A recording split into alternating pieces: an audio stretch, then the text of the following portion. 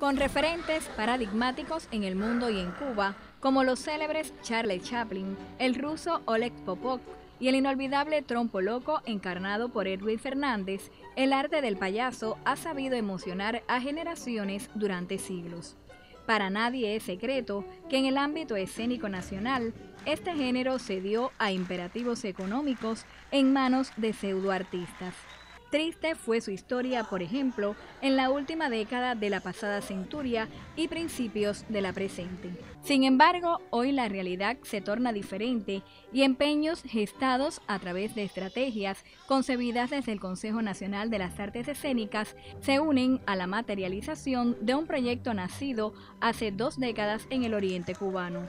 Se comenzó así a marcar la diferencia y a lograr revertir una historia que ahora presenta halagüeños matices sobre las potencialidades de un arte legendario concebido solo en apariencias para hacer reír, pues esencialmente propicia la emoción y el acto reflexivo en el espectador, se hablará en próximos reportes.